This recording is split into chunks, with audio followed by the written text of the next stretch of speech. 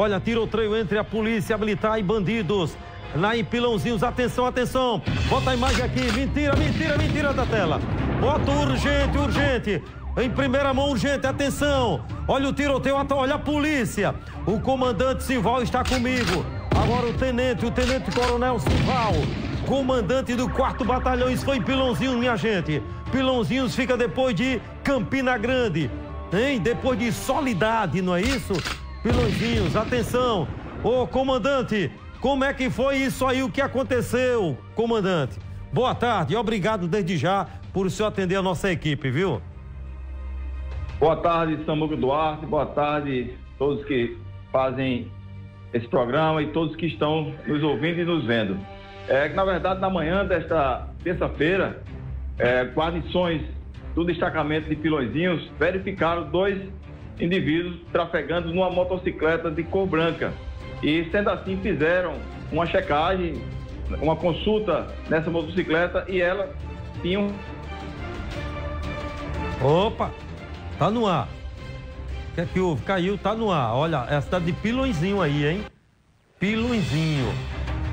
Pilões, Pilõezinho, Pilõezinho. Né? Eu confundo às vezes Juazeirinho. Um registro de roubo de furto no dia 29 de agosto na cidade de Mamanguape. E sendo assim, é, a guarnição de Pilõezinho já iniciou. É, já foi recebida a bala. É, foi recebida a bala e também atirou nos indivíduos com o reforço da Força Tática, sob o comando aqui do Sargento Fernando e de sua guarnição. Houve o um cerco. Nesse cerco policial, é, os indivíduos chegaram a ser alvejados. Tá Logo aí. em seguida, foram apreendidas duas armas de fogo, as armas que estão aqui, que estavam com os, os acusados.